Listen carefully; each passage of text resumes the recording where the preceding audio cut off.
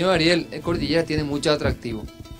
Ya por su situación de los de que tiene un lago, arroyos, bueno, y todo eso va sumando a lo que ya usted tiene aquí. ¿Cómo se llegó esto acá? Bueno, Cordillera se destaca hoy día por todas sus actividades turísticas. Eh, turismo y hotelería de...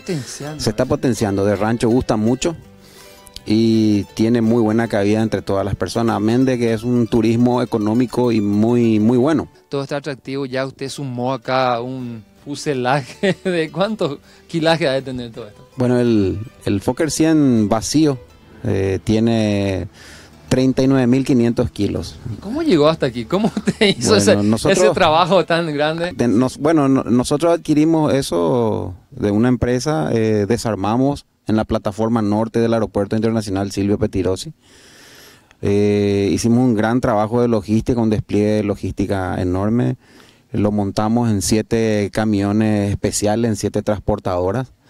Eh, hicimos el dislocamiento un día domingo cuando temprano, muy temprano para oh. evitar eh, el tráfico, tráfico Sí.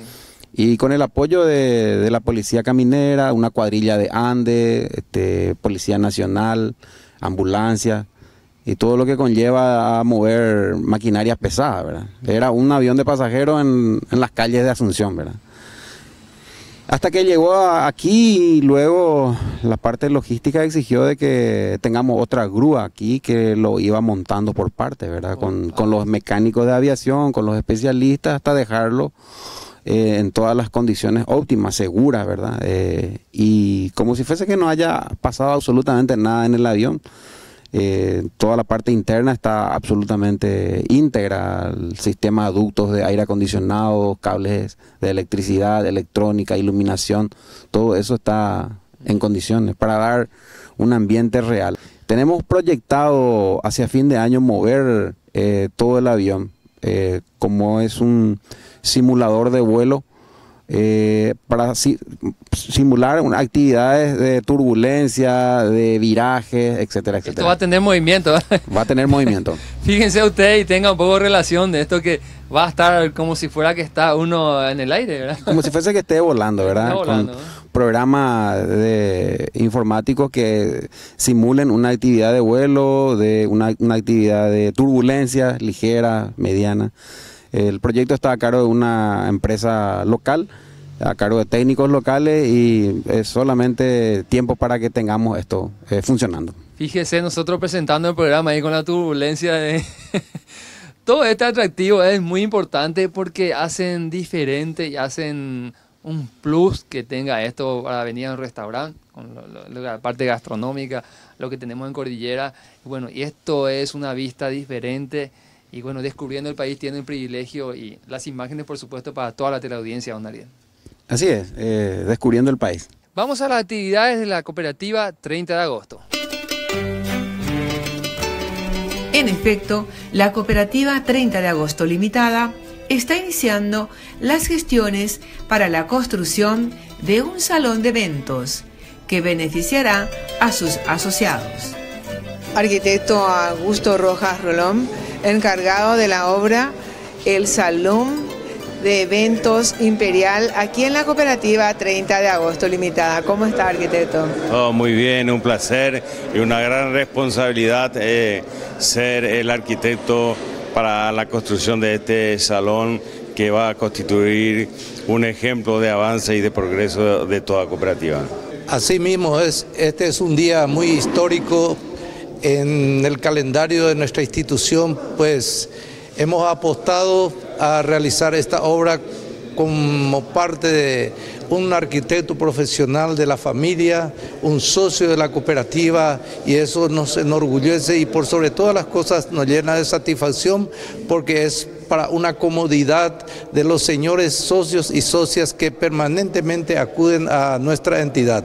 Así que realmente estamos muy contentos y Dios nos ayude para que tan pronto tengamos que disfrutar de ello. Cuéntale a la audiencia el desarrollo de esa, de esa construcción.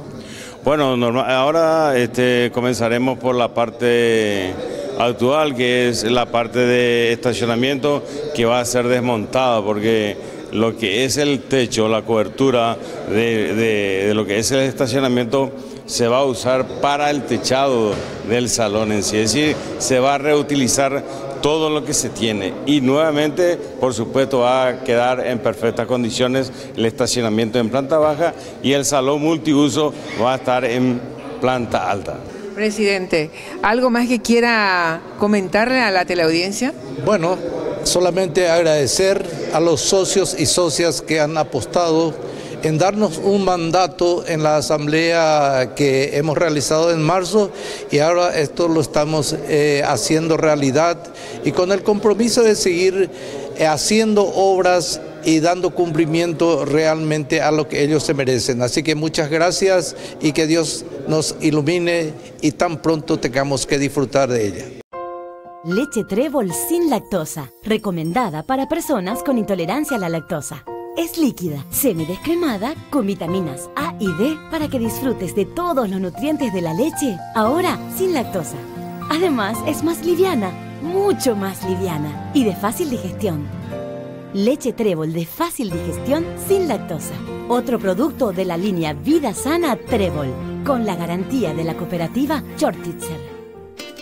Descubriendo el país invita a gobernadores, intendentes municipales, a los responsables del gobierno nacional y a los empresarios a mostrar sus comunidades, departamentos y sus empresas.